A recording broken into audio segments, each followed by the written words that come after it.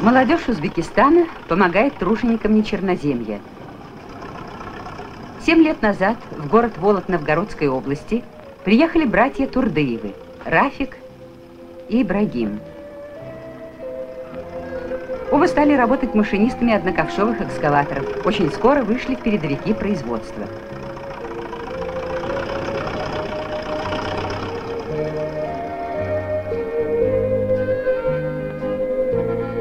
Здесь, в Волоте, один из братьев Ибрагим женился.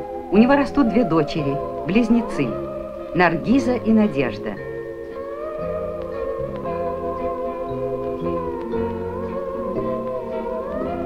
Недавно к Турдыевым в Волод приехал их младший брат, Казимджан.